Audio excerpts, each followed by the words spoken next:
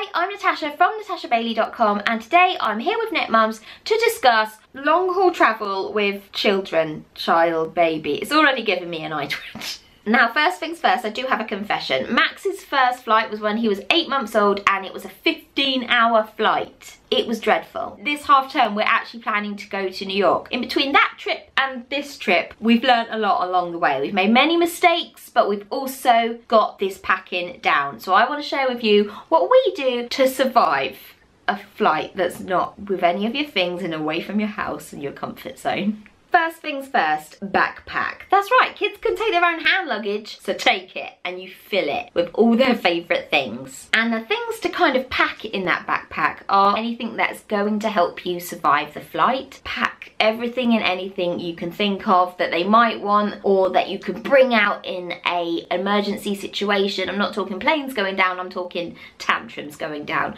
Anything you can use you pack it. Of course, we always take the fourth member of our family, the iPad. On here, we have his favourite shows downloaded, and we also have lots of kind of colouring apps or drawing apps, so all entertainment is covered. And then if you're taking this, you definitely need these, which are just some kid-friendly headphones. No one wants to hear your kid's iPad, especially you. Depending on how long you are travelling for, planes can get cold, hot, the temperature is all ski whiff up there. And also if you're in the UK and it's cold and then you're landing in a hot country you just don't know ever what to expect. So I always pack comfortable and practical clothing. Just think layers. So we've got like a thin t-shirt some joggers spare pants and some spare socks mainly there for accidents but this is comfortable to sleep in comfortable for mad dashes to the loo and then also very handy change of clothes for when we land. We always pack a spare pull-up on the flight because one if he falls asleep we quickly whip this on him and there's no chances of an accident. And two it is handy to have these because it's always when we're just about to land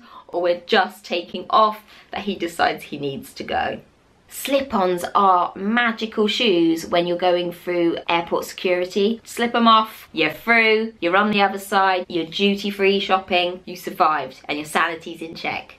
Next up, Cheety. Cheety is one of the most well-travelled cheetahs on the planet. Now, you might not have a Cheety, but you might have a pillow or a blanket or some kind of teddy, the comfort teddy. A Cheety will help me in a tantrum situation.